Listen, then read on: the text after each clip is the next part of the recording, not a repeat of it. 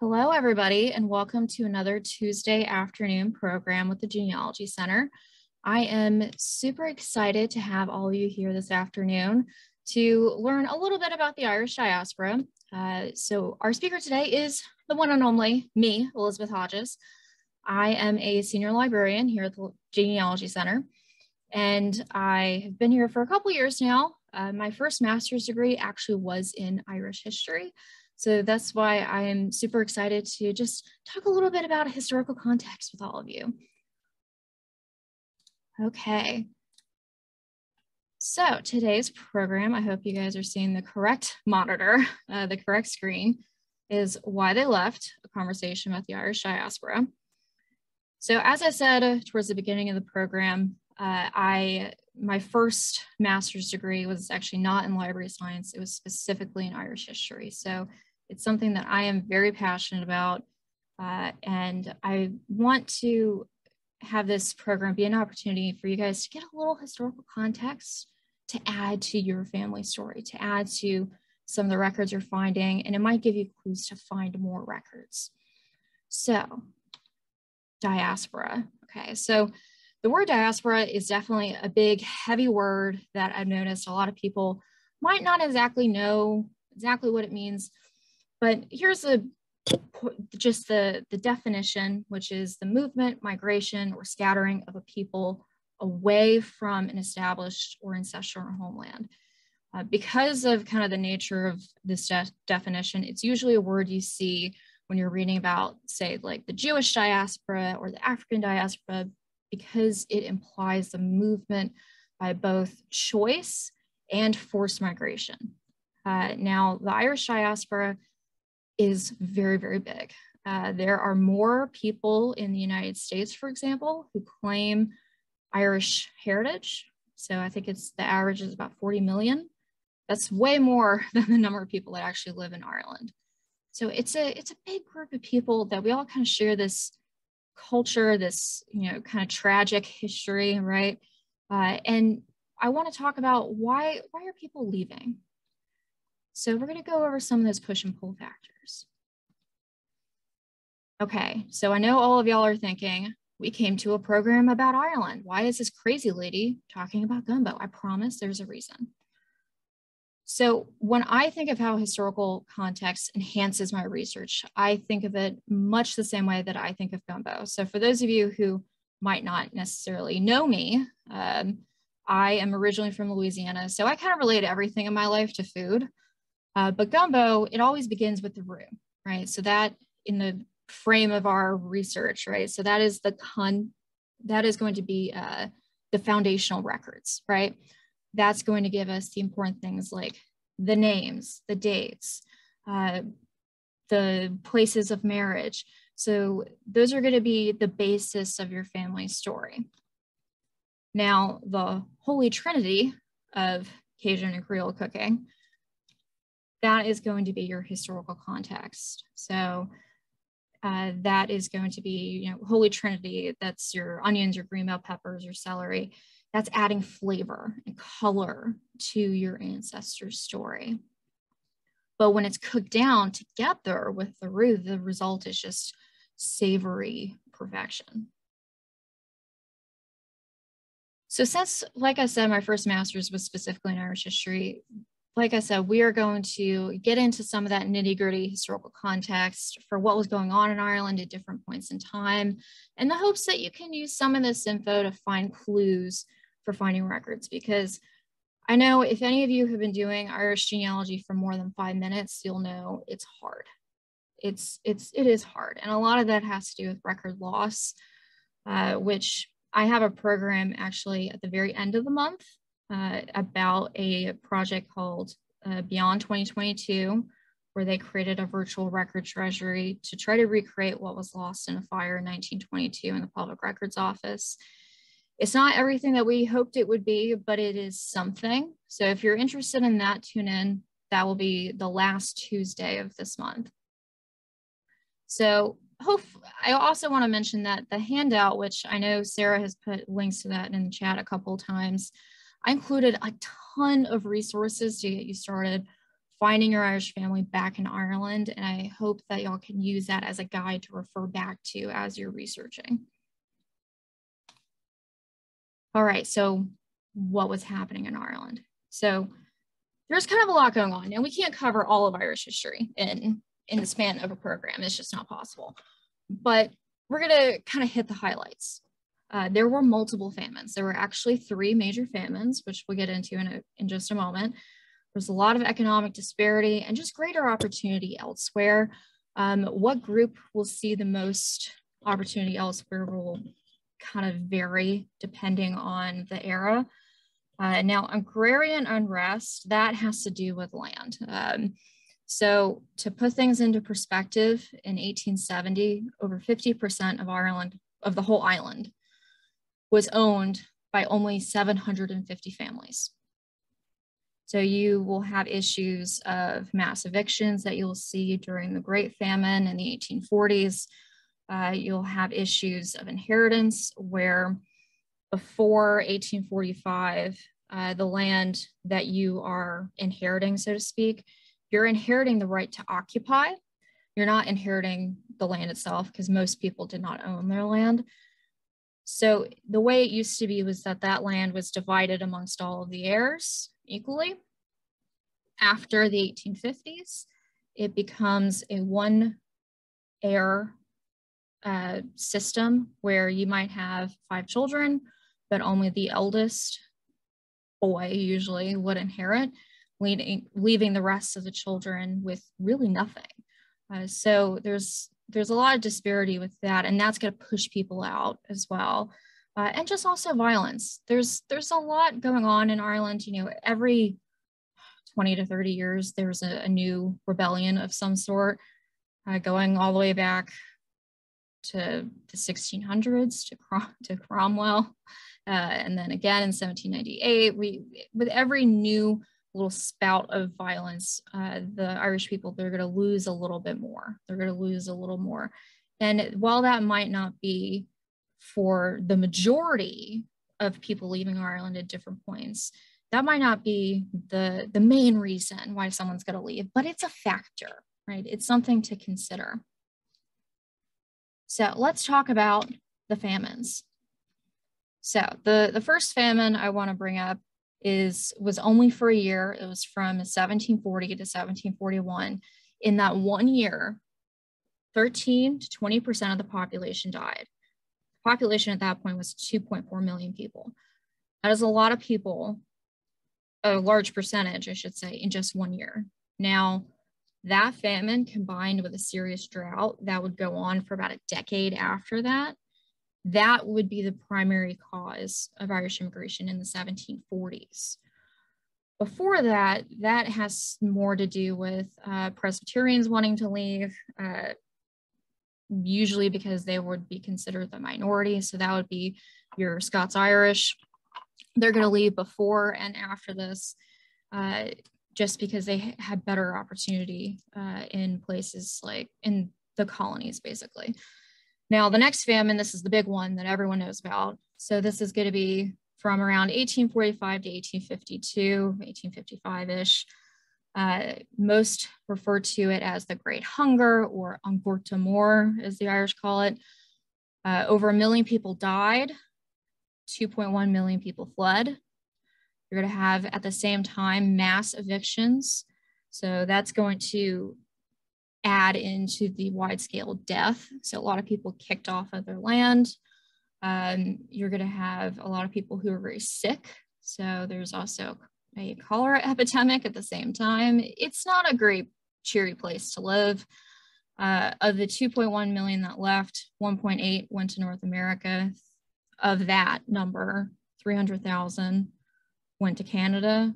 But uh, in 1847, which is known as Black 47, 45.6% of the total immigration to the United States was coming from Ireland. And then later on, you're going to have another famine. This is in 1879. Uh, it's they refer to it as a mini famine, uh, sometimes called An Beag, so a little famine. Uh, that wasn't quite as bad because by that point you had established immigration set up Uh, and it just, it wasn't nearly as bad as what was happening in the 1840s.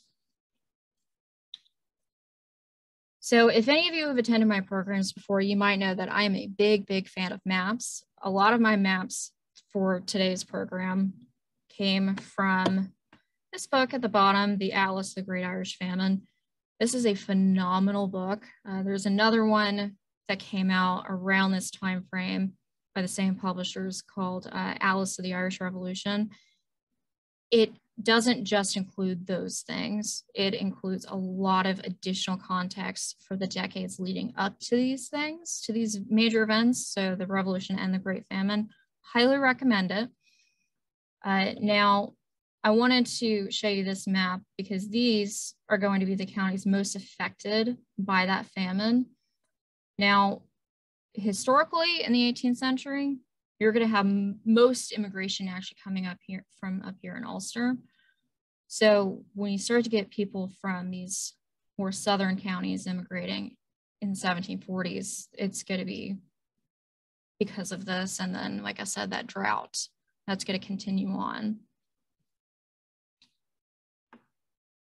So these maps also came from that same that same atlas. Uh, so this would be the percentage change in the distribution of population between 1821 and 41. So what this means is that the population of Ireland leading up to the famine in 1845, it boomed to cl close to 9 million people. It was at least, it was definitely more than eight. It was somewhere between eight and nine. The population of Ireland today for the Republic and Northern Ireland combined is about six. The population never truly recovered from the famine of the 1840s. Uh, now, this map is meant to just kind of show where the population was booming. So you're going to have massive increases of population in surprisingly these more rural areas. Now, this map, which is like a population density, it's just showing where it's most dense. So this is kind of the Belfast region, so Northern Ireland, which makes sense. But still, some of these are, are kind of big for, for 1841 and then everything changes. So this we have the percentages of evictions. So even though up here is going to be the greatest number of people up here in Ulster, the people who are most affected are going to be the rural poor, the people who will end up being evicted. Uh, those people will then have to walk to try to get to a dock, to try to get on boat, get and take that boat from, unfortunately, if you're from the West, you're to go to Limerick, uh, not Limerick, uh, Liverpool, I should say, and then take a boat from Liverpool over. That's that would be a very miserable journey, which we'll talk a little bit about soon enough. Um, and then you also have this population decline between 1841 and 51. So some of this distribution has to do with people from these areas migrating here because they they were kicked off of their land. It's it's a really kind of depressing thing to think about, but if your ancestor immigrated in this time frame, which a lot of our ancestors have, you can look at a map like this when you're doing research and think, okay, so statistically, where would my people necessarily be from? Because if you don't know, because that's a lot of people, uh, a lot of Irish Americans, they just know that their family was from Ireland and that's about it. And it's a really, really common thing I hear. So this can give you some breadcrumbs. Uh, there are more things in this atlas that I mentioned that can give you even better breadcrumbs. So I highly recommend looking for it. Uh, we have a copy of it here, but it's not a very old publication, so you might be able to interlibrary loan it from another library. Check, World, check WorldCat. Okay, so that's, that's enough of famine. So let's talk about Ireland after the Great Famine of 1845 to 52. So here's some post-famine statistics. Uh, between 1851 and 1901, over 3 million people, mostly Catholic, they immigrated from Ireland to Canada, the US, and Australia. You are also going to have some people going to New Zealand. By the end of the 19th century, nearly 90% of all Irish female immigrants between the ages of 15 and 35 Uh, they were and they were single. So you're going to have the majority of people immigrating in those decades after the famine are actually going to be young Irish women. And a lot of that had to do with uh, the marriage rates of Ireland went really, really down in those decades immediately after the famine. Uh, you had a lot of women who were becoming spinsters, uh, who were just not marrying at all, uh, or they were marrying late. So Ireland, statistically, they were the marriages were the latest marriages of any other country in Europe in that time period.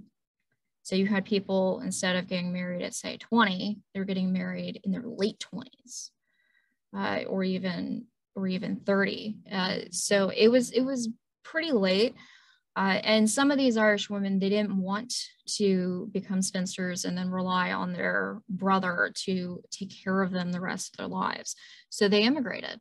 And sometimes it was cheaper for a family to send their daughter to, say, Canada or the United States than to pay for a dowry, because uh, the dowries were were expensive. Uh, not every not every family could afford it, and if you had four daughters, that that's that that's a lot. So you would oftentimes send your daughter, and also some of these women they were sent because they were more likely to find employment than their brothers uh, or other male counterparts. And a lot of that had to do with discrimination in the 19th century. Everyone knows the whole no Irish need apply thing. Uh, so that is going to affect men more than women because most of the Irish women immigrating, they're going to do things like domestic service. And in that time period, uh, there was such a demand for domestic servants because American women didn't want to do that work that the demand was actually higher than the than the discrimination itself. So they would keep hiring these women. They were not always treated very well, but they weren't always treated terribly. It kind of depended on who they worked for. Um, whereas the men, they would be pushed into the unskilled labor force and they're going to have some problems. So the impacts of kind of this mass migration are going to be remittances. So that's people sending money back uh, a couple slides earlier, had shown a picture, it was a drawing, uh, probably should have put it on this slide too, of it showed people depositing money into the Immigrant Savings Bank in New York uh, to send money back to the old country. And they were mostly women in, in the picture, which is kind of interesting. Okay, so pattern, sports, and price of immigration. So let's talk a little bit about that. So I know we have a lot of people, or at least a decent number of people in this program who are probably descendant of people who are Scots Irish, who would have immigrated uh, towards maybe the end of the 1700s. So this, this part is for y'all. Uh, so the primary ports of immigration for that time period would be coming from Derry slash Londonderry, Larne, Belfast, and Newry, with occasionally you'll have some people leaving from uh, from Cork and Dublin uh, and Waterford down south, but this is where most people are going to be leaving from in that time period. So that's kind of what's going on there. Now, things do change a little bit. Um, we'll get into how these people were finding their their passage in just a moment. Let's talk a little bit about the 19th century. So by the time the Great Famine began, Ireland was already well equipped with the immigrant trade. Uh, so there was a pretty efficient network of communication transport between Ireland and Liverpool. So by the late 1830s, 1840s, two out of, out of every three immigrants who crossed the Atlantic did so through Liverpool. So that's not the rule that your ancestor came through Liverpool. So if you're looking for those ship pa passenger lists uh, and you're not even knowing where to start, try looking through those Liverpool ones first. See if you can find them there. They might not have come through Liverpool, but statistically speaking, it's pretty likely that they did. Uh, so the fare to Liverpool was about five to 10 shillings on a steamboat uh, or a fishing boat of some sort or a coal barge. Um, that's how people from Ireland are going to be getting over to Liverpool. Many people traveled next to livestock that was being exported from Ireland. Uh, considering that was also happening during the famine, I highly doubt that the people traveling from Ireland next to livestock, I highly doubt that they missed the irony of that. But I digress. The conditions were horrible. Uh, the ships crossing the Irish Sea, they did not have to have a report on the numbers they carried. So you're not going to find necessarily any kind of record of them leaving Ireland to go to Liverpool, unfortunately. Uh, so there, there just wasn't any record of it. Uh, it was very dangerous. Ships leaving from the west uh, were the most dangerous because they those boats were not meant to carry people, and they would sh- cram them full of people, and then they had to navigate some pretty dangerous water over here. This side of Ireland, the Atlantic is pretty rough. Uh, if any of you ever have tried to visit the Aran Islands, uh, the Ring of Kerry over here in the west, um, you know, don't ever plan for that to be, oh, this is the thing I must do on this day. Because if the weather is even a little bad, they can't bring you out there. And that's just to get to some islands.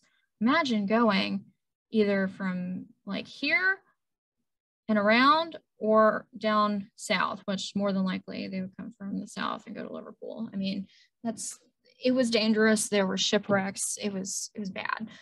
Uh, so people would often arrive in Liverpool already sick, uh, and it just wasn't a great time. So between 1847 and 19, uh, 1847 and 1853, as many as a million Irish arrived in Liverpool, either as transients, so people who were just stopping through on their way to leave, to either go to Canada, the US, Australia, etc., or as settlers, so people who would leave Ireland and then just stay in Liverpool. A million people between 1847 and 1853. That's that's a lot of people. Um, so during that famine decade, so 1845 to 55, give or take, the number of Irish immigrants who arrived in North America who left from Liverpool was four to five times greater than the number leaving from all the Irish ports combined. So you, you will have people leaving from these ports, as I mentioned, but statistically, like I said, they're going to probably be leaving through Liverpool. So that's a place to start looking, right? So uh, another thing I do want to mention is that uh, the United States Congress around 1847, they did pass something called uh, the Passenger Acts. And this was to make, actually make the voyage more expensive because uh, they, they saw the level of destitution and illness arriving in United States ports. So they passed the stuff to make it more expensive um, so in March of 47, the minimum fare to New York rose to seven pounds sterling, um, which was way beyond what most families who are facing starvation in Ireland could afford. Um, so even so, all the tickets that would be traveling during the quote season of immigration that year, they still were all sold. But what we're going to talk about next is actually Canada because 30% of those uh, bound for British North America in 1847, which, like I said, Black 47. So that's going to be the year with the most death.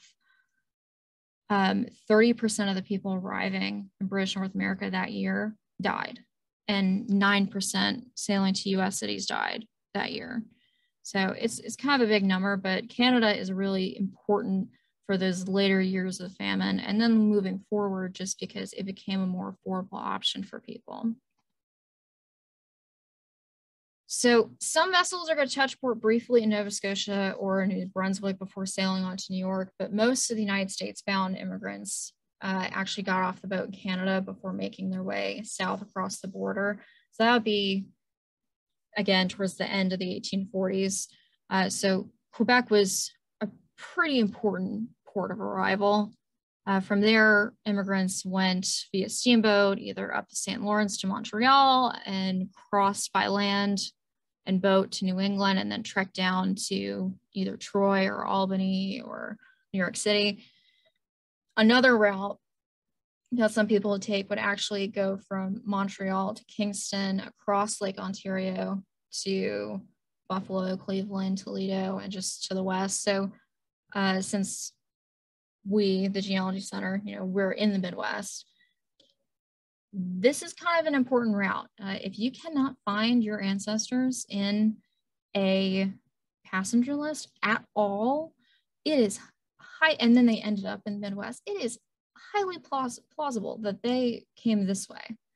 They came through Quebec, through Ile, which is basically their version of Ellis Island. Um, there are some records for that, which I believe I put a link to in the handout. If not, just Google Grosse uh, immigration records and you'll you'll find it. There's a database. It's not super complete, but it's worth looking at.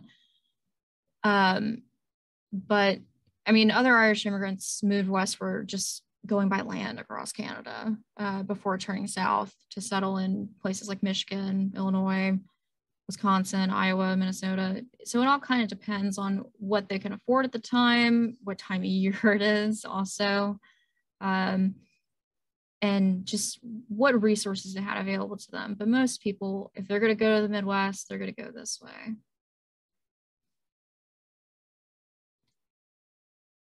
So, how do people find passage?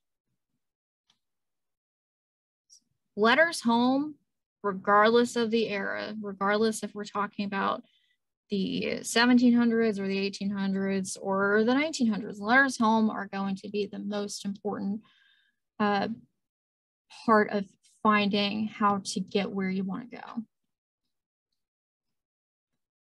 Now, recruitment through the newspaper from shipping agents, it's actually really interesting. Um, so these shipping agents and also these land promoters in the 1800s, they would put all these ads in the paper uh, encouraging people to to immigrate to the colonies. Uh, I'll show you some examples of that in just a moment.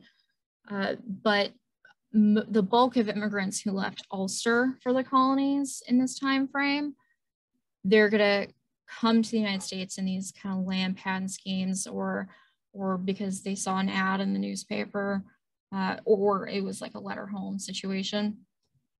But I mean, this kind of speaks for itself. Between 1765 and 1775, the majority of the 33,000 immigrants leaving Ulster participated in a land patent scheme. Basically, it was come here, uh, live here, settle this land, and you'll have land. It's that's the basic ex explanation of it. Uh, but it's it's kind of interesting how they would recruit people. Indentured servitude. Now, I do want to make a point in saying that this is not the same thing as chattel slavery. It is not comparable. It is a contract. It is a means of immigration for the poor, uh, even just people who are kind of middling uh, money wise, because it would oftentimes take a lot of money and resources for someone to book passage and then buy provisions. So that would cost somewhere between three and nine pounds sterling uh, between 1720, 1770. Uh, those who intended to become farmers in the colonies needed at least 10 more pounds sterling to pay for inland transportation. And then you have land grants and tools and seed and then you have to survive the first winter.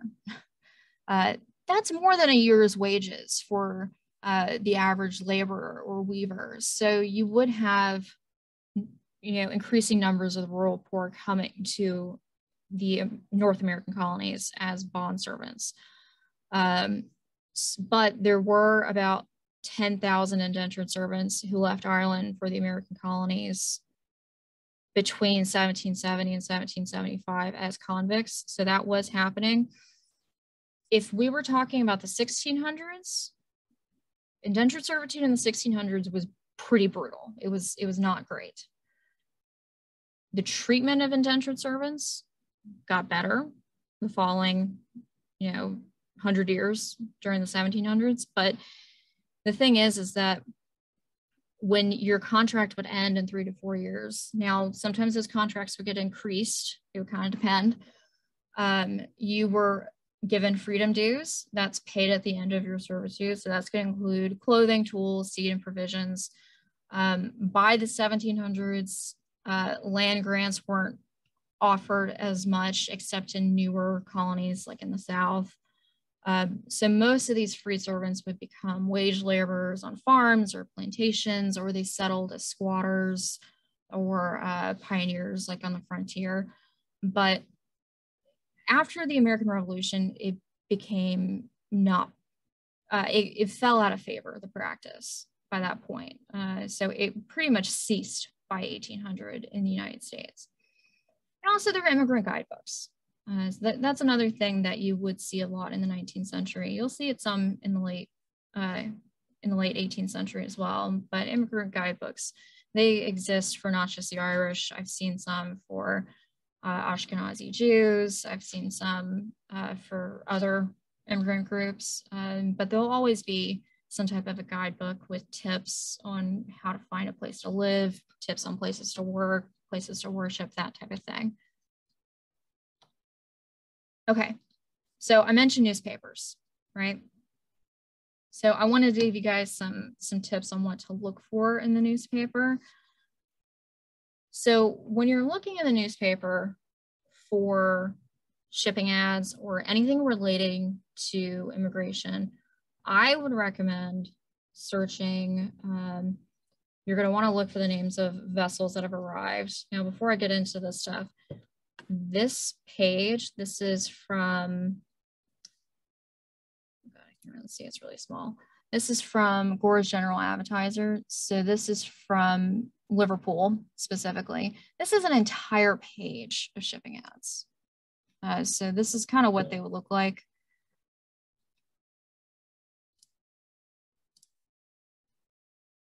This is from the Belfast Ship News, uh, which I included these here. Uh, you can find these online in uh, definitely the British Newspaper Archive. Uh, you can find them also if you have a paid subscription to Find My Past. The library edition doesn't have it. They have some newspapers for Ireland, but not all. They might have the Liverpool General Advertiser. I'm not quite sure. I do want to point out that the Belfast newsletter, we actually have this here on microfilm, and what's been digitized online actually begins in 1800, but we have it all the way back to 1738, which is kind of cool. Uh, you will see and hear uh, the names of the vessels that have arrived. Uh, cleared out means the departing ships. Uh, so that can give you an idea of maybe what ships to look for when you're digging through the passenger list. If you're going to try to maybe look by ship name, that is one way of doing it. It's hard, but it's a way of doing it if you're doing research in the colonial era specifically, I would try really broad search terms such as America or colonies or sailing or the names of specific cities like Philadelphia or Baltimore, because those are going to be some of the major ports of arrival. Uh, and you'll also want to look at the newspapers located in those ports, ports of departure I mentioned. So these are just kind of two examples I wanted to point out. Um, this one is from Saunders newsletter. This is also a Belfast newspa newspaper. I find it really interesting because it's basically saying, you know, if you're a young man who's been bred to business in this city uh, and can be strongly recommended, sail for Pencil uh, for Pennsylvania, sail for Philadelphia and Charleston, at the first opportunity and you know you'll have a job. And it's talking about buying and selling goods on commission uh, it, it's it's interesting. So that would be in this time period one of the things that would encourage people to immigrate. This is what a lot of other shipping ads will look like. Uh, this one is from 1828. So this is the Belfast newsletter. Uh, they would, if you're going to look for passage, like if you're going to buy your own passage, uh, you might want to look in the newspaper to see what boats are sailing when. Uh, so to sail the 1st of May. Um, during the season of immigration. So keep in mind the weather is a big factor in when people are going to leave. So that can kind of help narrow things down for you as well. Um, and again, just knowing what ships are leaving at one point, that can kind of give you some breadcrumbs to go off of. Uh, this one specifically went to Quebec. Uh, it's kind of interesting how they would advertise these ships a remarkably strong ship, sails very fast, uh, has accommodations for passengers in the cabin, second and steerage. I mean, talking about the skill of the captain. It, it's interesting stuff. And you'll see ads that look just like this for later on in the 19th century as well. Uh, you'll see other ones I'll say, if your friends in America have purchased your, purchased your passage, can you come to our office immediately so we can get your name? So that's kind of how this was transpiring in this time period. Now, I've kind of given a lot of context. I want to give you two kind of quick examples of kind of where my family fits into some of this. So I want to talk about two people, Sophie Hodges and Maggie McCann. So Sophie Hodges was my great grandfather's sister, and Maggie McCann was my great grandmother. So let's talk a, little bit about Sophie and where she kind of fits in with that bigger context. So Sophie would have immigrated in 1904. Here she is, she was 19. She was working as a domestic servant at the time. Uh, she's claiming that the last place she was living was Dublin. She actually left from Derry. So that's kind of a good example of when I say it is not the rule that people would leave through Limerick, but this is 1904, so it's a little bit later. Uh, her family uh, would have been from County Cavan. She'll have other family from um, County Fermanagh. So she might have been in the north anyway, visiting people before she left. Says her final destination is going to be New Orleans.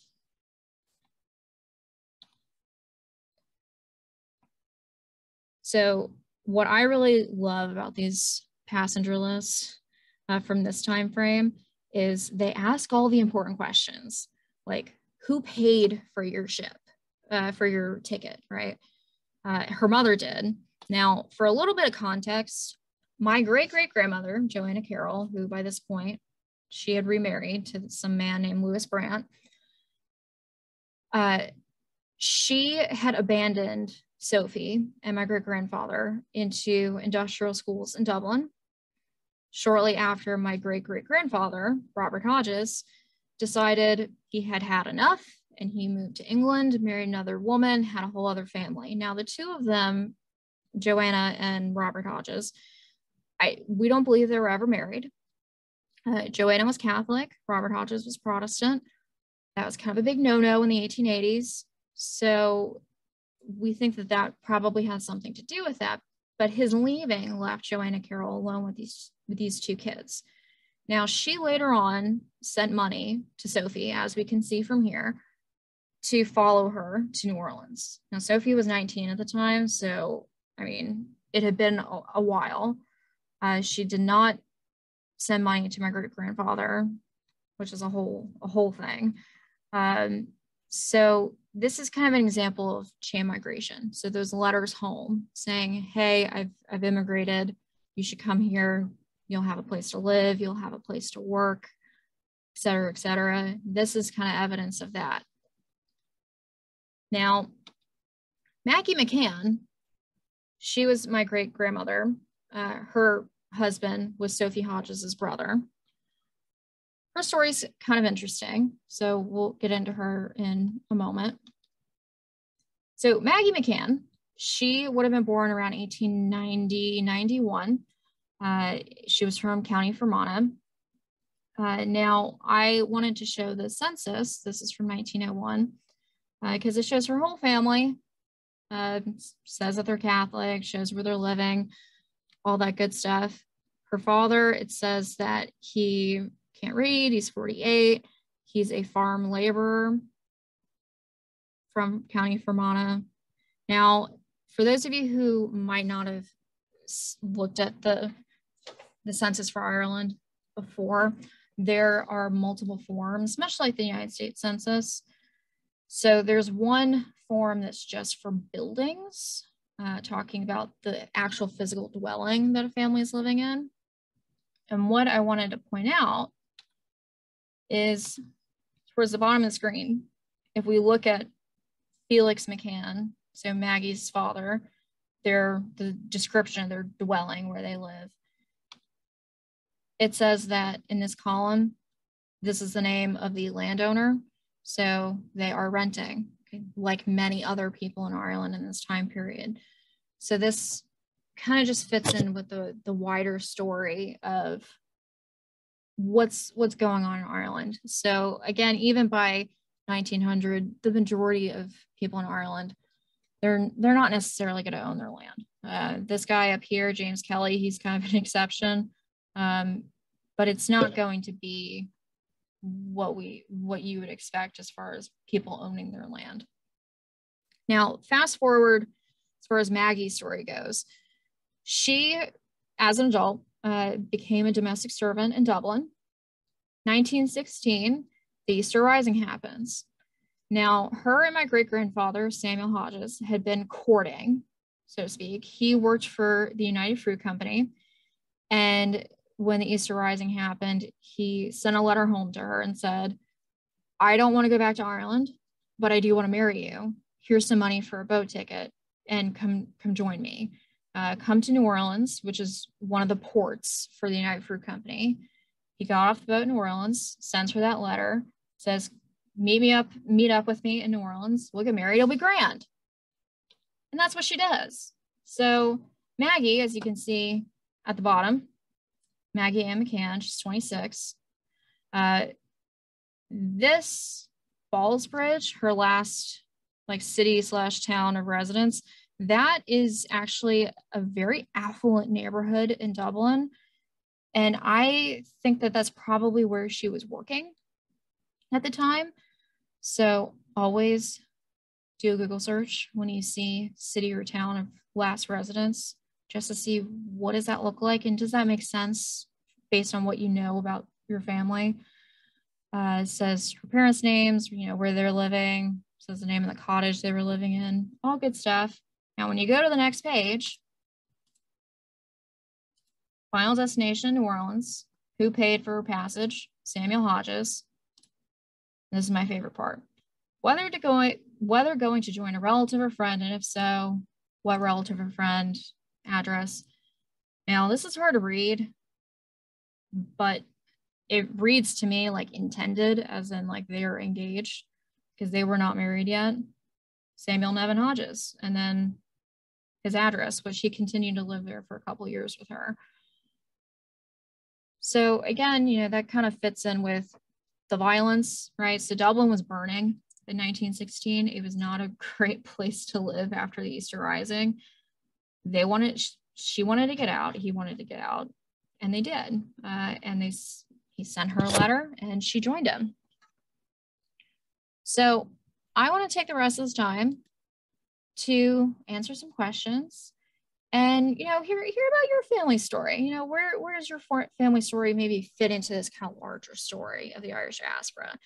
I could not possibly get into everything but i wanted to at least give you a taste maybe get you interested enough to look into it a little bit more. Thank you elizabeth and i guess we will sign off. Bye. Yeah